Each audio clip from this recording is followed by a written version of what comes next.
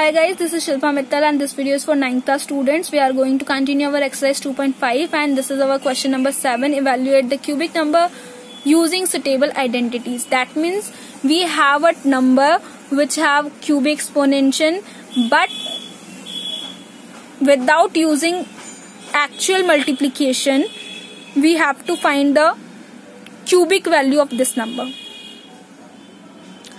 So we can write this number as 998 is equals to 1000 minus 2 because 1000 minus 2 gives us 998 and if 998 having the power notation 3 that means 1000 minus 2 also having the power notation 3.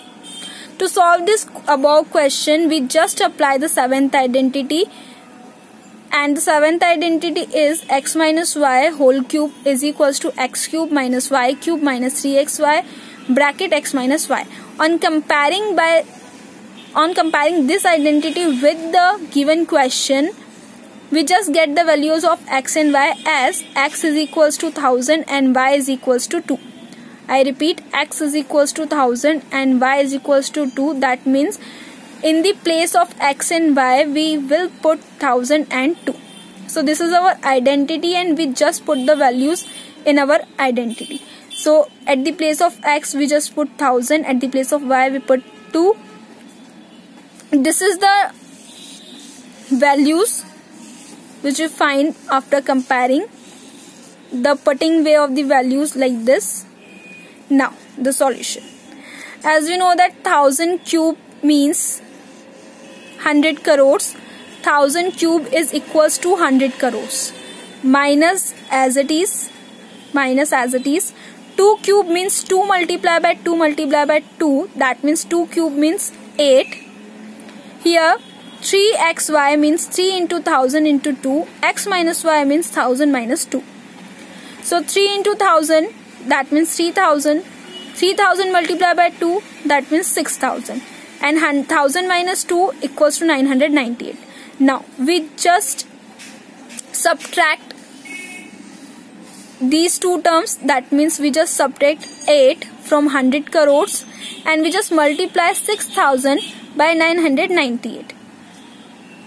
I'll show you the rough column. We just subtract the 8 from 100 crores and we will get this number after subtraction and we just multiply the 998 with 6000 we will get this number as the answer now put both of these value into the further solution. So the subtraction of 8 from 100 crores is this. And the multiplication of 6000 with 998 gives this answer. Now, after subtraction of both the numbers with each other, we will get this answer. This is our required solution.